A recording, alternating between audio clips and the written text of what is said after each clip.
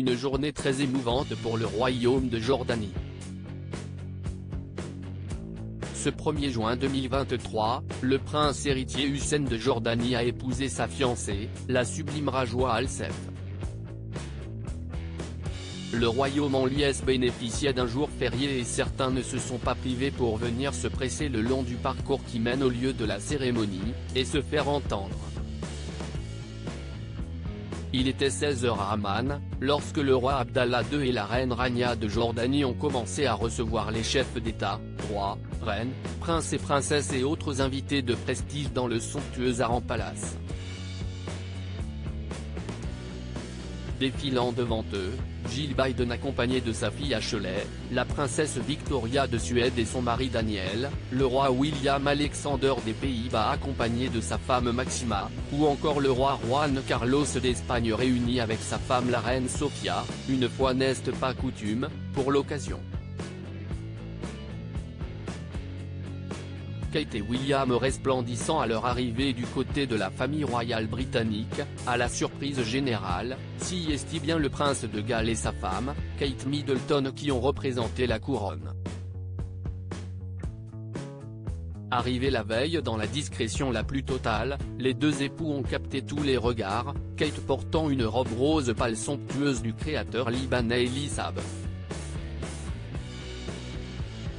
Le couple a longuement conversé avec Abdallah et resplendissante dans une création Dior.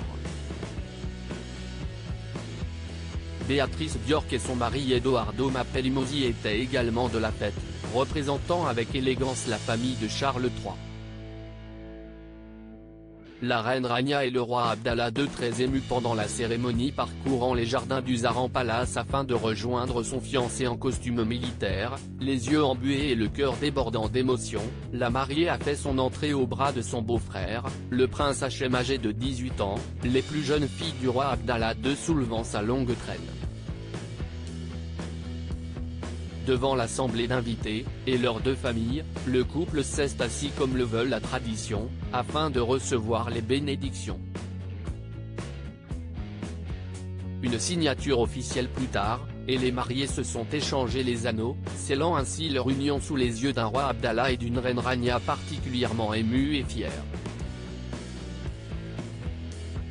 Mariage du Seine de Jordanie, revivez l'événement en images après quelques you-you joyeux, les mariés sont sortis du palais et ont respectueusement salué un à un les invités. La princesse de Galles et son mari William se sont empressés d'embrasser le couple, le prince Hussein offrant au prince William une étreinte particulièrement chaleureuse. Les deux couples ont échangé quelques paroles, et les jeunes mariés ont ensuite fait de même avec tous leurs convives. Ce soir, ce sera le temps de la détente et de la fête avec un banquet au palais à Lucénia. Une journée sous le signe de l'amour, de la convivialité et du bonheur familial avant tout. Crédit photo, Dana Presse